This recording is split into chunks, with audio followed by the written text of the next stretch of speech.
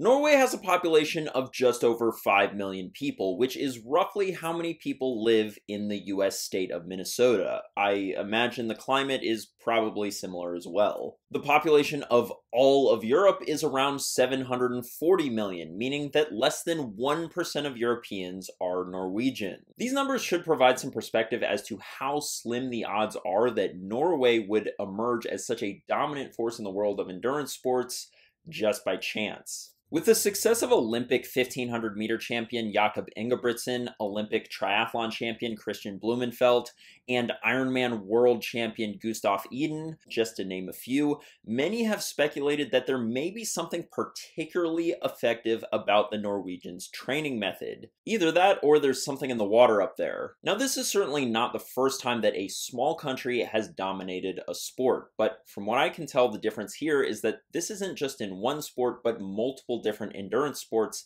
and it can't be entirely explained by culture, like with Belgians and cyclocross, for example. Oof.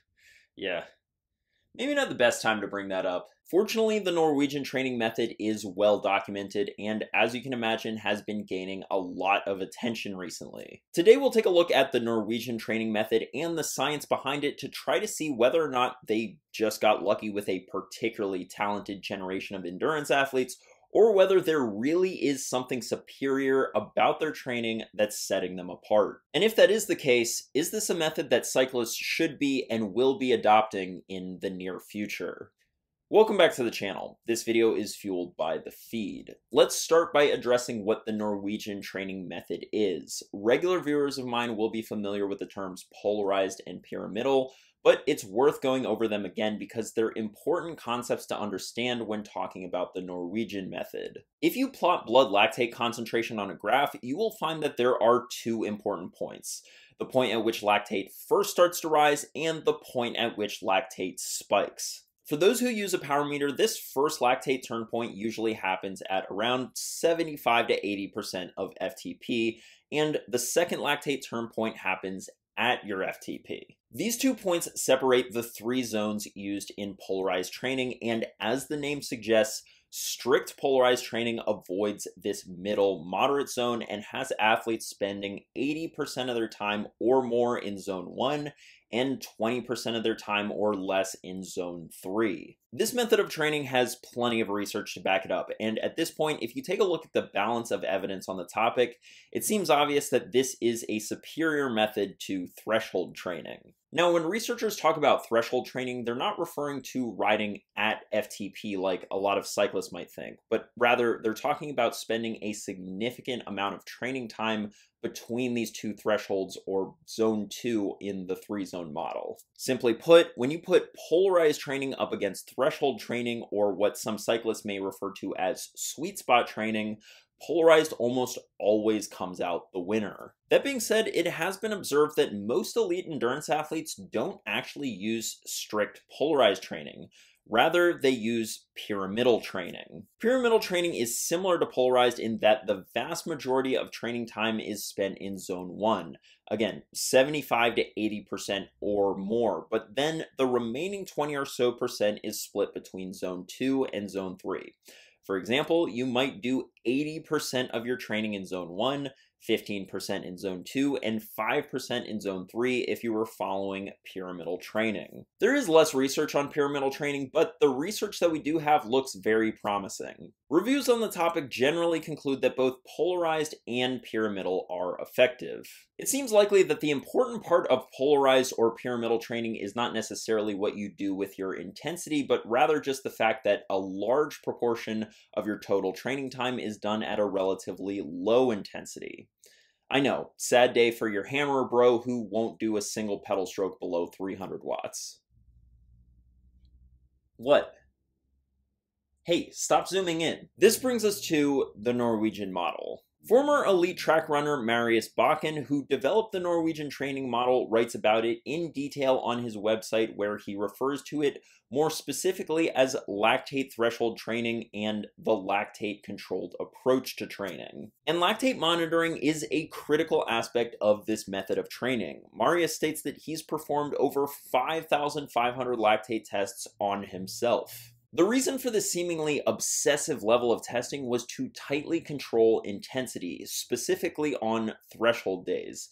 Again, threshold meaning zone 2 in the three zone model. The Norwegian model places a huge emphasis on this zone 2 training, so much so that one of the hallmarks of this method has become the double threshold days, in which athletes perform lactate guided threshold sessions in both the morning and afternoon on the same day. In this example training week that Marius provides, both Tuesday and Thursday are double threshold days, and Saturday is a high intensity hill run. Now, this may seem like a ton of intensity, but this actually still falls under the umbrella of pyramidal training. In this review article on lactate guided threshold interval training, which Marius co authored, they specified that this training is done within a high volume, low intensity model that is consistent with the literature on pyramidal and polarized training. Okay, so there's nothing actually special about the Norwegian training model. It's just the same old pyramidal training that elite athletes have been using and that I've made 500 videos about already. Oh boy.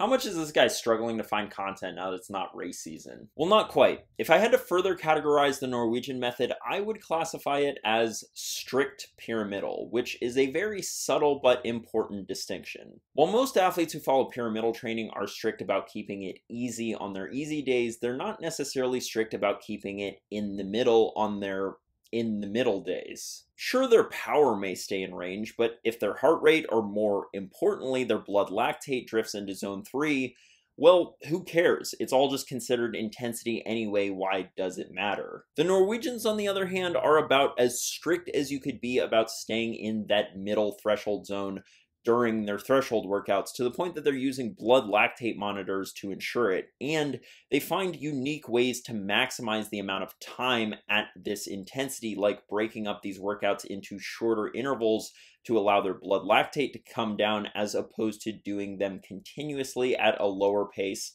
like so many runners do. On these double threshold days, lactate is carefully monitored to make sure that athletes aren't going above their threshold zone.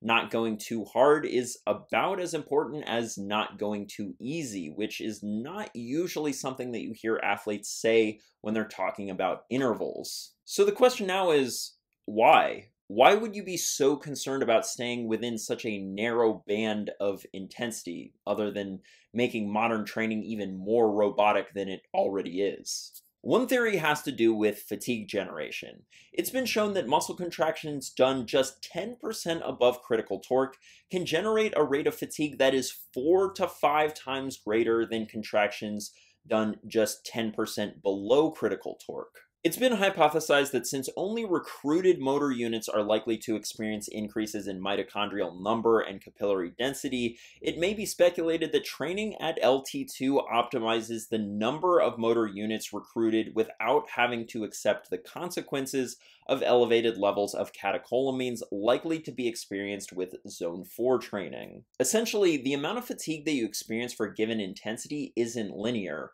There's a threshold at which fatigue ramps up substantially for just a small increase in intensity. Marius writes that you can get the huge benefits of pushing the threshold high at the least possible wear of the muscles.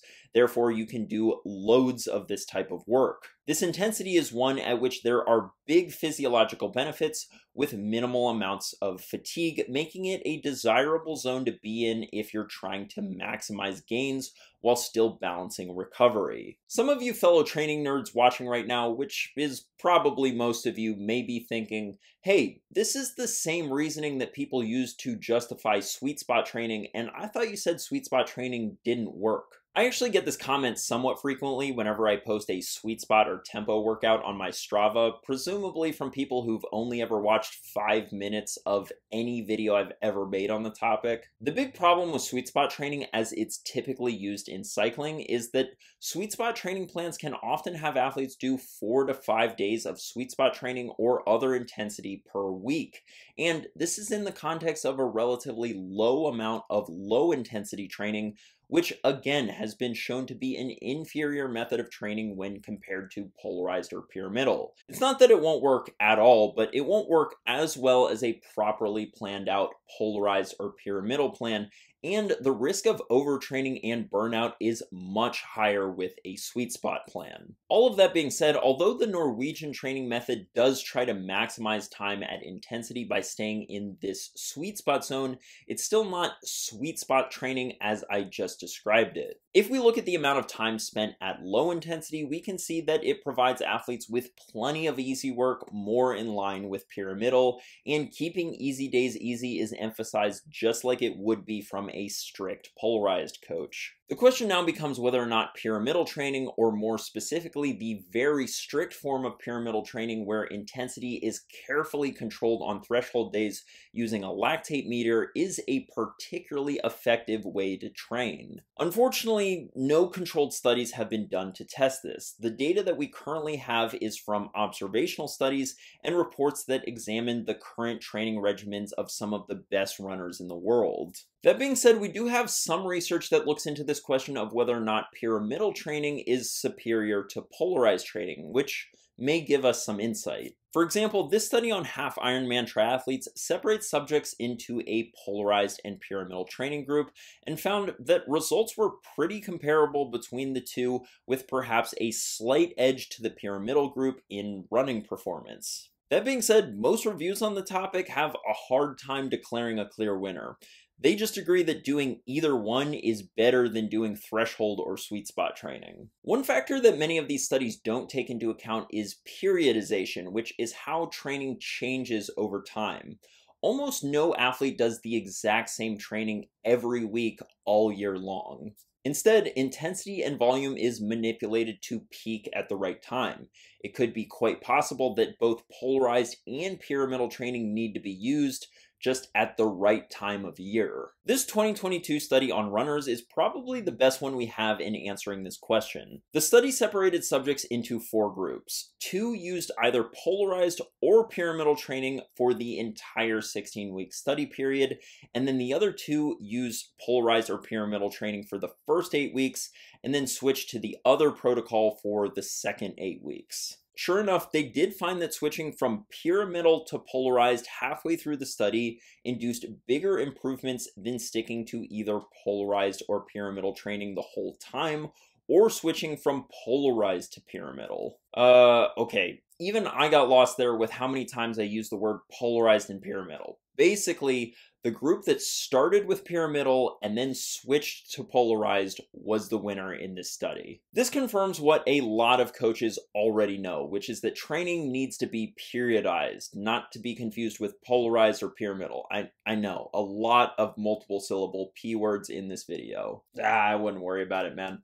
No one is even paying attention this deep into one of your videos anyway. Most coaches agree that training should go from less intense to more intense as you approach a peak, which is what this study showed. And most elite athletes tend to train this way as well. This article on how the top five Giro finishers trained from 2022 confirmed that overall they followed a pyramidal approach with an increase in intensity and polarization in the competition period. It seems as though we shouldn't necessarily be arguing about whether or not one is better than the other. The studies that we have on that are so close that it's basically a wash but rather we should be trying to determine how we can use both to hit a peak at the right time of year.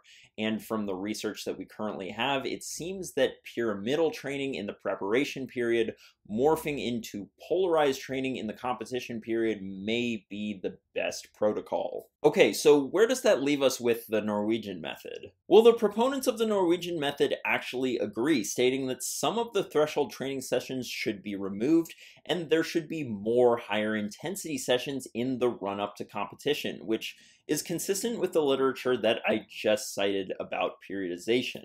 Even the authors of the review recognize that this is not a revolutionary training model, but rather the product of 100 years of training history and knowledge. That being said, I think there are two key takeaways from the Norwegian training model that are important for endurance athletes. The first is this careful intensity control that they have adopted to the point that they're monitoring their blood lactate to ensure that they are staying within the right zone. There's been a lot of buzz recently about continuous lactate monitors being on the horizon for athletes to further refine their training. They're the hot new thing that everyone is talking about, and they're not even available yet but with good reason. Personally, I think that continuous lactate monitors will revolutionize training the way the power meter did.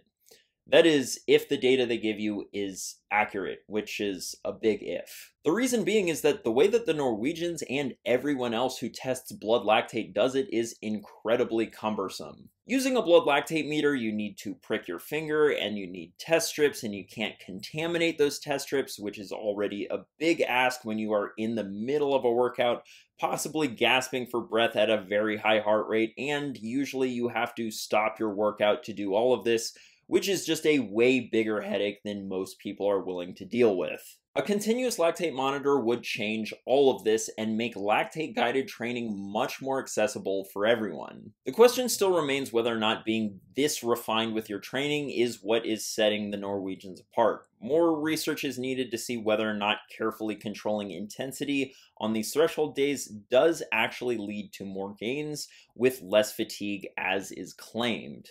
It is important to remember, though, that we are dealing with such small differences between winners and losers in sports like elite track running and triathlon that if this attention to detail enabled athletes to do a bit more intensity than they otherwise would have, and that resulted in even a fraction of a percent advantage, this could still be significant enough to make that difference. The second important takeaway is this idea of clustering or blocking hard work in the training week together as opposed to spreading it more evenly throughout the week.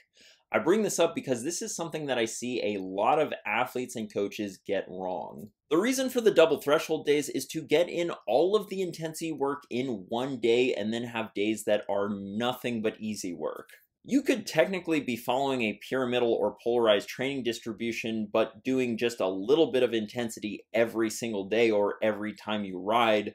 Or you could be disciplined about keeping your easy days easy so that you get the most out of your hard days. The reason why the latter is far more preferable is because you aren't constantly stressing your autonomic nervous system every single day. There appears to be a threshold for autonomic nervous system recovery at the first lactate turn point. The Norwegian method applies this principle very well. Easy days are easy so that more work can be done when it really matters, on the hard days. It may be possible that even though most elite athletes are already following this basic principle, even stricter adherence to it is what is giving them an edge as well. Thanks for watching. If you want to step up your own training, I have online training plans and coaching available, and they are linked down in the description below. If you enjoyed this video, be sure to give it a like, subscribe, and share it with your cycling friends. I'll see you in the next one.